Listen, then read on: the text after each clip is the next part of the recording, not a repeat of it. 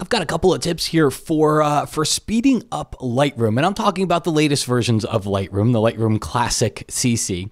Um, speeding up Lightroom when it comes to looking through your photos. So while there's certain things I can do nothing about, I can't I can't speed up the import process for you. If for some reason develop is is going slower for you, there's nothing that I can do there other than point you to another video that I have that I'll make sure that I link here that's got some some speed and performance enhancements for Lightroom. But if you're using the latest version of Lightroom, I can pretty much guarantee you that once your photos are imported, this will help speed things up for you. Okay, so the first step would be when you're doing your import, you're gonna go to File, Import Photos.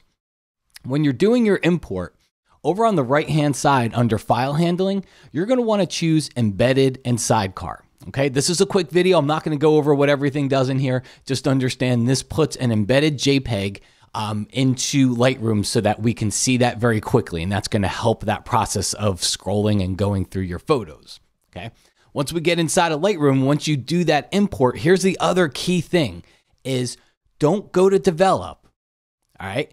And take a photo and then hit the right arrow key and expect it to speedily always go to the next photo. Once you're in develop, you're telling Lightroom, I want to develop this photo, I want to edit the photo, and in order to do that, I want access to all of this photo's information.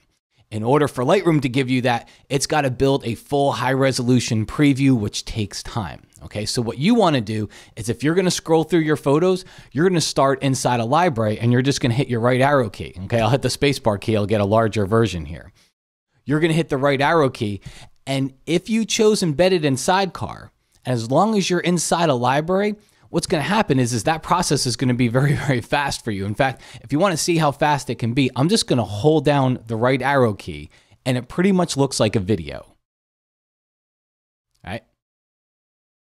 See here, it's going through the photos is almost you know faster than you could possibly see them. All right, so there are lots of blurry photos in there as well, um, but that is the the key is you've got to be inside of library in order to do this. And when you do this, you can go through these photos very, very fast. You can rate them, do all the different things. Once you rate them and once you get through that process, now I can go ahead and click on my pick flag down here in the filter area. Now I would jump over into develop and I would start to edit those photos. Just understanding when I switch between one and another, it might take a couple of seconds for Lightroom to build the preview.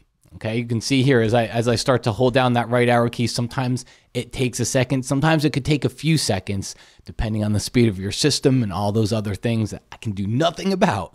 Depending on those, it might take a few seconds to render that photo, but just remember, if you want to very, very quickly go through and rate your photos and get them down to a point where you're not looking at hundreds, maybe you're just looking at a few, do that inside a library because it's going to make it a lot faster.